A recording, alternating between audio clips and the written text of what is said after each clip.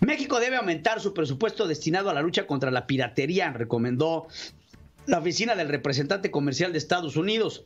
Entre las observaciones y recomendaciones del reporte especial 301, la instancia consideró que México debe otorgar más recursos a reforzar la aplicación de la ley y de las autoridades encargadas de su vigilancia. Señaló que debe de estar incluida la unidad especializada de propiedad intelectual dentro de la Fiscalía General de la República para mejorar la coordinación entre funcionarios federales y subfederales. Indicó que esto permitirá llevar a cabo más procesos judiciales relacionados con propiedad industrial e imponer sanciones disuasorias contra los infractores. Reconoció que en el reporte especial 301, México permanece en la lista de vigilancia de protección de la propiedad industrial este año.